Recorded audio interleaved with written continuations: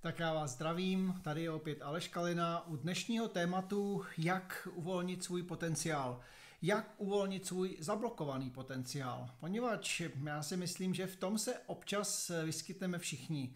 Že cítíme kdesi v sobě hloubku, že bychom rádi udělali mnohem víc ve své práci, že bychom radši pracovali efektivněji, že bychom třeba začali podnikat nebo dělali úplně něco jiného, nebo se nám to může stát i v našich vztazích, že cítíme, že máme v sobě mnohem více lásky a citu, že bychom to chtěli dát, že máme mnohem víc v sobě, jak vydělávat peníze a už ani nemluvě, jak se třeba cítit ve svém těle, jak lépe cvičit, jak lépe hubnout, jak netáhat to množství sádla, prostě uvolnit v sobě svůj zablokovaný potenciál.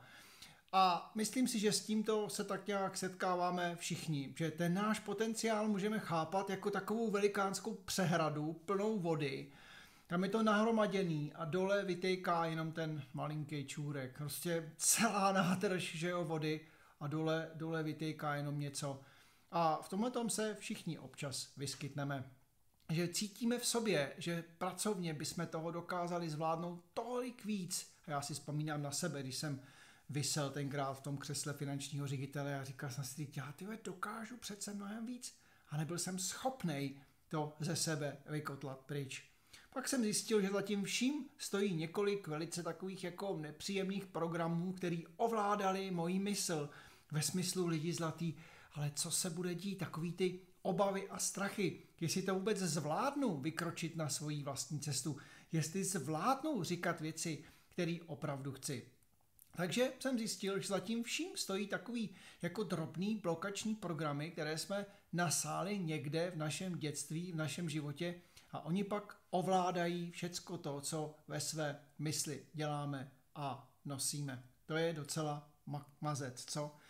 Čili pokud cítíte, že byste rádi uvolnili svůj vlastní potenciál a máte jednoduše pocit, že se vám nedaří dělat to, co byste chtěli dělat. Cítíte, že máte navíc, že jste prostě šikovný, že máte v sobě obrovský potenciál, nevyužitou perlu a že byste fakticky to chtěli ze sebe dostat, tak dobrá zpráva je ta, že není na tomto světě žádný rozdělovník štěstí, že není nikdo, kdo by přišel a řekl, hele víš co, teďko tady tomu dáme super podnikání a super práci, a tady tomu člověku v žádném případě ne, protože ten si to nezaslouží a ten je špatný a ten to prostě jednoduše takhle eh, nemůže a ten bude trpět. Nic takového na tomto světě neexistuje. Já i ty jsme rovné bytosti. Jsme si rovní. Neexistuje žádný rozdělovník štěstí. Všichni můžeme velmi dobře svůj potenciál uplatňovat. Ale to je jako dobrá zpráva, že jo? To je prostě úplně super zpráva. A kolikrát koukáme na jiné lidi a, včera mi jedna paní říkala, no já se pořád porovnávám. Já si pořád říkám, proč ten druhý to má a já to nemám. Ale nic takového totiž není pravda. Poněvadž my všichni můžeme mít to, po čem ve svém životě toužíme. Být plně uvolnění. A říkáte si lidi zlatý, no dobře, ale, ale jako co s tím já jako mám dělat? Jak se k těm věcem dostanu? No a to je právě smyslem toho dnešního povídání. Pojďme si ale možná na začátek změřit, jak se vlastně taková blokace potenciálu jako měří? Jak to vlastně, dá se to vůbec změřit, jak zablokovaný jsem? No to víš, že se to dá změřit. Já vám teď ukážu úplně jednoduše, jak se taková věc změřit dá. Čili je to easy. První věc, kterou uděláme, je, že si život rozdělíme na čtyři oblasti. Na oblast práce, peněz, zdraví a vztahu. A uděláme si jednoduchou stupnici 0 a 10. 0 je nejhorší, co si vůbec dokážete v životě představit. A desítka nejlepší. No a teď si vemte ty čtyři oblasti, práce, peníze, zdraví a vztahy a zkusíme si je změřit. Jo? Takže se podívejte do oblasti své práce a řekněte si, jak se cítím v oblasti své práce. 0,10. Jak se tam cítím? Jak se cítím v oblasti svých peněz? No, když se kouknu do peněženky, že jo, na svůj účet. Jak se cítím v oblasti svého zdraví, svého těla? Jak, jak se tam cítím? 0,10. No a ve finále vztah k partnerovi, že jo? Jak se cítím k tomu svému člověku, kterého mám doma? A jak se cítím sám k sobě? Čili v podstatě pět čísel. No a teď, když se na ty eh, čísla podíváte, tak všecko, co je pod 7,5, a pokud to myslíte jako opravdu vážně, tak si radši řekneme 8,5, tak znamená, že v té dané oblasti existuje nějaký potenciálový blok. Prostě dobrovolně tolerujeme špatná čísla v dané oblasti. Když se koukneme třeba na tu oblast práce a teď pořád koukejte na tu velikánskou přehradu, plná vody a dole vytejká čůrek. Takže se koukneme teď na oblast své práce a říkáme si, jak by vypadala ta moje práce, když bych ji plně uvolnil, když bych uvolnil svůj potenciál, když bych dělal to, co opravdu miluju, kdybych se mohl vykašlat na každýho, co si kdo myslí a co kdo říká, co doma kdo říká, co si o mě kdo bude myslet. a, a, a vůbec, jako co, možná mě budou mít za úplnýho debila, kreténa, co bych dělal, že jo? Abych uvolnil v sobě množství té vody, aby to ze mě mohlo tryskat a proudit ven. Co by to bylo? Když tam třeba budete mít nízký číslo, dvojku, trojku, nějakou takovouhle, což znamená úplně totálně zablokovaný v oblasti práce, že jo, anebo jste v oblasti práce dobře, ale neumíte promluvit, neumíte se ozvat, nebo vás po vás někdo jezdí, máte strachy ze šéfa, máte strachy na poradách mluvit, jasně, zablokovaný potenciál neleze ven, poněvadž ta vaše originalita je úžasná. Ta originalita každého z nás je úžasná, ale tyhle, z nějakého prapodivného důvodu jsme tady 50, 60, 70 let a přitom žijeme jak zbídačený myši, někde skovaný v díře. Ale proč? No protože nás jednoduše doma blokli. To je celá odpověď. Jednoduše nás blokli, zablokovali nás a já vám na konci potom eh, dám odkaz, protože jsem udělal úplně jednoduchý kurz totálně pro vás zdarma, kteří posloucháte tady to moje vysílání abyste si mohli tady ty bloky začít postupně hledat, poněvadž to jsou prostě jenom bloky. A to je to v té práci, že jo? Takže my tam vlastně potom sedíme a říkáme si, no tak co já bych tady jako začal dělat, jak bych se měl chovat, jak bych to všechno měl vůbec zvládnout, jak bych vůbec se k tomu měl a přitom v sobě cítíme, že mám mnohonásobně navíc. Čili jsem potenciálově zablokovaný vůči svému úžasnému rozletu, vůči tomu, abych dělal věci, které opravdu miluju. No a teď se podíváme do oblasti těch našich vztahů, že jo. Že i tam, že pokud máme tam nízký číslo pod 7,5, tak je to ta samá písnička. V sobě máme obrovskou přehradu lásky, nadšení, vášně, vztahového potenciálu.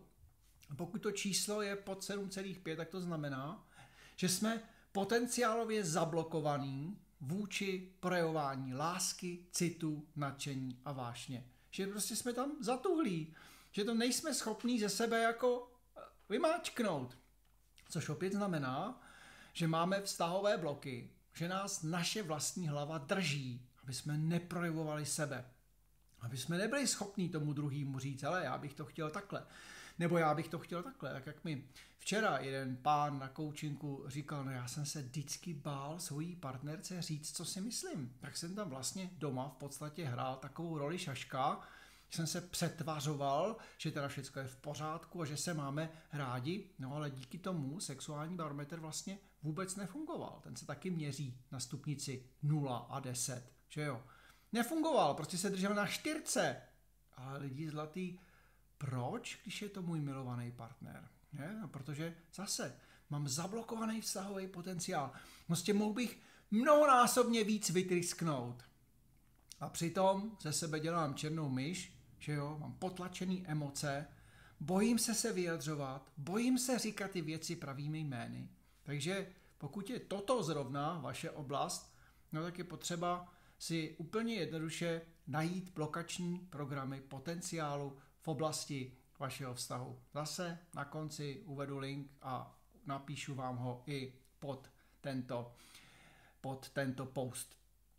Takže to je další věc. Potom máme kvadrant peněz. No a to je další taková věc. Vemte si, že dvě třetiny z nás, no, když by nám sebrali příjmy, je to statistická hodnota, tak umřeme hlady za tři měsíce. My nemáme úspory, neumíme s těma penězma dělat.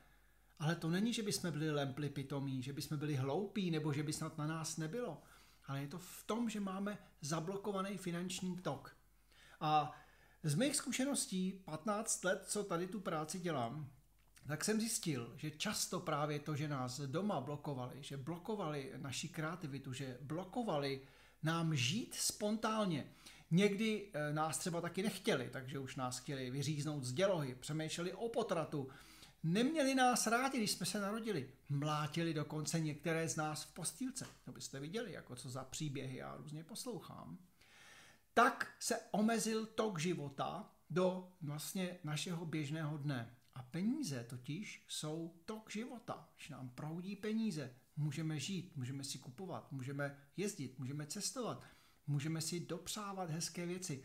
A nemusíme pořád v hlavě eh, poslouchat ty myšlenky lidi zlatý, jak to zaplatím, jak se mi tady to, jejda, zase další splátka, zase další. No a to samozřejmě blokuje náš život. To blokuje tu krásu, blokuje to, abych se mohl koncentrovat jenom na to, abych žil. Čili pokud zase toto se v oblasti peněz to máte pod 7,5, tak to neznamená, že byste byli špatný, že byste byli zlí, že byste byli neschopní hňupy. Nic takového, ale jednoduše se vám tam během života do hlavy dostali finanční bloky, váš finanční potenciál je zablokovaný a tudíž to z nás jako neproudí. A mi jedna paní tuhle na přednášce říká, a na co by se já potřebovala takových peněz? Mně stačí prostě 15 tisíc za měsíc. No, to bylo možná ještě menší částka, ale už je to nějaký pátek před pěti rokama na jedné přednášce. A já jí povídám, no tak to, proto, abys třeba ty prachy navíc mohla rozdat. Abys mohla je dát třeba dětem, který nemají rodiče, nebo někomu, kdo je opravdu potřebuje. Jako to neznamená, že když vydělávám hodně, tak si to nechávám všechno kompletně pro sebe. Ale můžu začít pomáhat ostatním lidem. No, tak jako to jí půsa sklapla, že jo? Že ta cesta není jen v tom, Eh, že to všechno nahrabu pro sebe. A to je další, že my totiž často máme i bloky vůči bohatství a vůči bohatým lidem, že to jsou šmejdi, že to jsou hajzly, že, jo, že to jsou lidi, kteří si nezaslouží žít, zloději, okrádači, kdo ví co, nepoctivci. Zase nám to do té hlavy někdo někde naskládal. Čili, že jsme zablokovaní vůči eh, finanční, finanční hojnosti. No a v oblasti zdraví tam se objevují tři takové důležité věci. Buď to velká nadváha, že prostě mám kila navíc, že jo? nebo naopak nemám kila, a nebo mám nějaké zvláštní, prazvláštní nemoci, které nechci že jo, ve svém těle. A to je opět zase jsme zablokovaní vůči, vůči zdraví. Často ten kvadrant zdraví je takový jako malinko odlišný, než je třeba kvadrant vztahů nebo kvadrant peněz či práce a on velmi často zobrazuje nebo zrcadlí právě ty neúspěchy v těch ostatních třech oblastech. Takže my se přejídáme, protože se nám nedaří ve vztahu, že jo? protože už nevíme, co sami se sebou, tak si tam frkneme dortík, že jo? párek, burstauherák, no. A nebo naopak nevěříme sami sobě, trápíme se, trestáme se a nejíme, že jo? nebo si nevěříme, že ta naše postava je úžasná, skvělá, tak e, nejíme a ve finále potom máme 45 kg a kdo ví, co se s náma musí potom všechno dít, že? Čili i to zdraví právě často je blok vůči sebelásce, vůči sebepřijetí, sebehodnotě.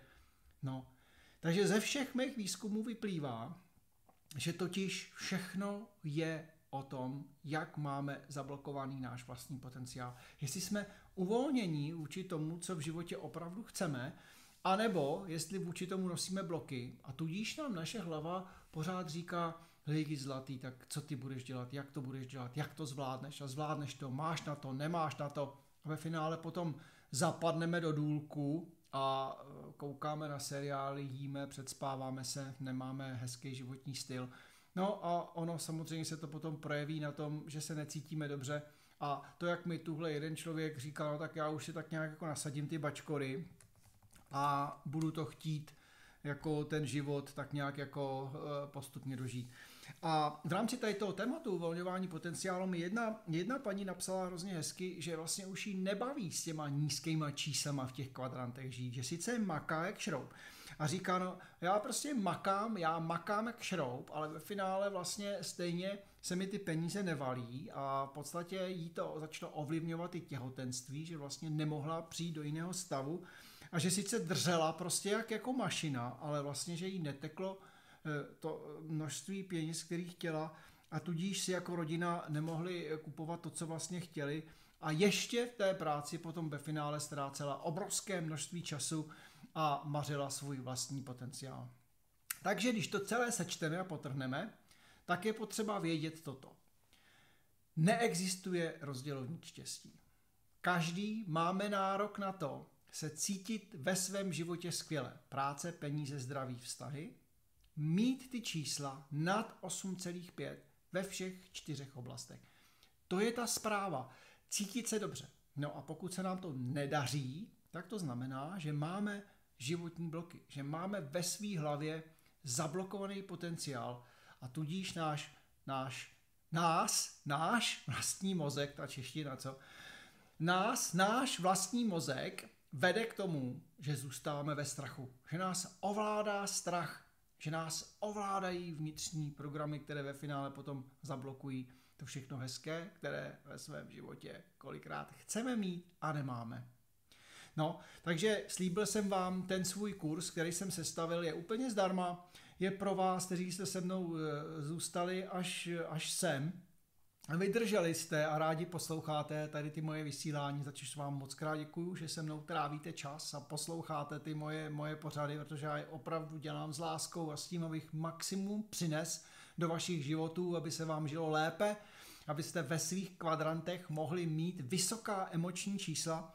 Takže když napíšete uh, aleskalina bez háčku, aleskalina.com lomeno potenciál, tak se vlastně dostanete uh, na registrační stránku, kde stačí vyplnit uh, svoje jméno a e-mail a celý kurz, celý kurz budete mít k dispozici zdarma, abyste si mohli najít svoje první bloky, abyste se podívali, jak ta hlava vlastně funguje, co všecko se nám do té hlavy dostalo, jak se mozek učí a jak se s těmi bloky dá pracovat. Takže zase vás to trošičku posune, aby potom ve finále jsme mohli jednoho dne říct, hele, tyjo, já mám práci, kterou miluju. Já mám partnera, to je, hele, to je, to je prostě slast, že jo. A já ty prachy teď mi tečou, já jsem spokojený. Teče mi tolik, kolik potřebuju a je jedno teď, kolik je to peněz. A mám zdraví, mám váhu, moje tělíčko prostě funguje dobře a cítím se skvěle. Čili víme, že pokud se ve svém životě cítíme skvěle, tak to znamená, že nemáme bloky vůči životu. Že náš život přes nás přirozeně protejká. A to je to, co chcem, že jo? To je to, co chcem, že my chcem aby ten život přes nás přirozeně tek. Protože k čemu to je? Že jo? Když jeden z těch kvadrantů nám fungovat nebude, když si necháme jeden nějaký blok, že sice budeme vydělávat peníze, tam se nám to podaří, ale budeme zablokováni vůči lásce. S kým to budeme utrácet? Kam ty peníze vlastně? Teď nebudeme mít možnost to sdílet. To nechceme, že jo? My právě chceme, aby ve všech těch čtyřech oblastech byly ty ty bloky odstraněny, že když se nám podaří vydělat, tak přijdem domů, obejmem partnerku, partnera a řekneme, hele, já tě, já tě zbožňuju, protože díky tvojí lásce a citu, že mě podporuješ, tak já jsem mohl vydělat o milion víc. No, to je jedno o kolik. Že jo? A že budete moc vzít toho člověka a jet někam a užít si ten výdělek. Na druhou stranu, když zase budu mít třeba super partnerku a nebude mi to fungovat v práci, no tak zase budu mít hlavu z toho jak věrtel, že jo? Nebude jako se mi chtít pořádně nikam jezdit, protože budu od svojí hlavy pořád poslouchat, ale měl bys, měl bys, to není, tam to není, to bys ještě měl a tohle to by se mělo a tam to by se mělo a to si neudělala. Ta, to znáte, že jo, jak to vypadá, když chodíme s hlavou a ta nám tam hučí v té hlavě jak v úle. Stejně tak budeme mít skvělý vztah a prachy taky budou fungovat a zdraví nám bude háprovat no tak zase, že jo, si to neužijem, protože to stačí, že k zubaři a už tři dny nám tam cinká, ale pozor, se půjdeš ta vrtačka, že jo. A ty všechny tady ty čtyři kvadranty jsou mezi sebou propojený. A funguje to báječně, že když si v tomto udělám pořádek a mám práce, peníze, zdraví a vztahy, mám v rovnováze, tak mi to začne vytvářet nádhernou hladinu dobrého pocitu. Můžu se kouknout na nebe, mi vždycky říkávala prabavička. A říkala, obracej, tou češtinou starého člověka, že jo, obracej své oči vzhůru, aby si viděl slunce a mraky. Pozvedej své oči vzhůru, protože my co lidi jsme zvyklí koukat do země, koukat na problémy, mít plnou hlavu problémů. Ale zkuste se někdy podívat do dětské tváře, jestli oni řeší nějaké problémy. Ty rozjasněné oči, ty krásné andělské, andělské tváře dětí. A pak ve finále, že jo, taky nasajou ty naše programy a stanou se, stanou se z nich následovníci našich, našich vlastních programů. A to poslední, co mě ještě teď naběhlo do mysli, je, že když máte rodinu, děti a plánujete děti, a, nebo už máte děti a je úplně jedno, teda jak starý jsou, tak si vemte k srdci jednu důležitou věc a to je to, že pokud já si sám odstraním bloky, že jo, z bloky potenciálu ve své hlavě, že uvolním ze sebe potenciál, tak zcela podvědomně tyto moje změny začnou nasávat i moje děti že najednou se mi začne jako proměňovat celá moje rodina, celý můj rod. Poněvadž vždycky všechno začíná ode mě. Já jsem ty kamna, já jsem ten zářič, že jo? Takže já, když začnu na sobě ty změny dělat, tak se to zcela přirozeně začne promítat do okruhu těch mých blízkých, těch lidí, kteří žijou u mě a tohle je, je ta nejlepší věc, kterou snad můžu lidem říct, že kolikrát se na mě obracíte hele, já bych potřeboval změnit svého partnera, jo, nebo já bych potřeboval něco změnit na svých dětech, no, tak já povím, dobrý, tak nejdřív je ale potřeba uvolnit ty bloky ze své hlavy, protože celé tvoje okolí, rodina, příbuzný, všecko je prostě jenom obrazem tebe. Takže moji jmenovaní aleškalina.com lomeno potenciál tam máte možnost se podívat do kurzu zdarma, jak funguje v podstatě celá hlava, mozek a jak se ty různé bloky dají hledat a jak se s nimi dá pracovat dál, což vám pomůže byť na začátku možná malinko, ale abyste se seznámili s tím, jak to celý funguje a jak tedy ty parchanty z hlavy postupně začít dostávat pryč. A pamatujte si, Celá sláva a radost života, poněvadž nic jsme si sem nepřinesli a nic si odsud taky nemůžeme odnést, spočívá v jedné z nejdůležitějších ingrediencí života. A to je dobrý pocit. Jak se cítím dneska. A ten dobrý pocit se spočítá jako průměr z těch čtyřech oblastí. Takže když se v těch čtyřech oblastech cítím dobře, práce, peníze, zdraví, vztahy, vztah k partnerovi a vztah k sobě, tak můj den začíná dostávat šťávu, protože to není nahoru, dolů, změna nálady, je zlatý nahoru, dolů, nahoru, dolů. Ale ta nálada je postupně konstantní a já se mohu cítit dobře. Tolik dnešní pořad. Mějte se krásně a hlavně nezapomeňte, uvolňujte svůj potenciál k dobrému, protože tak to potřebuje naše okolí, tak to potřebujeme my No tak to v podstatě potřebuje celý svět, poněvadž celosvětová dobrá nálada se skládá z dobré nálady nás všech. Tak jo, mějte se krásně a zase u dalšího vysílání se na vás budu těšit. Tak jo, ahoj.